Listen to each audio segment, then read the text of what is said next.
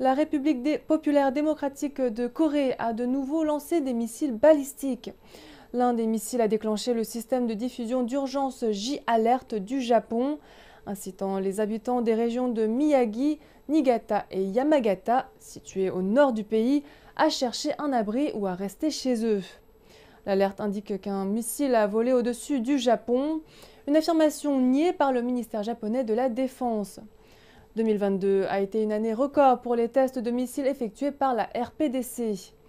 Mercredi, le pays a lancé au moins 23 missiles, le nombre le plus élevé en une seule journée, dont un qui a atterri à seulement 60 km au large des côtes sud-coréennes.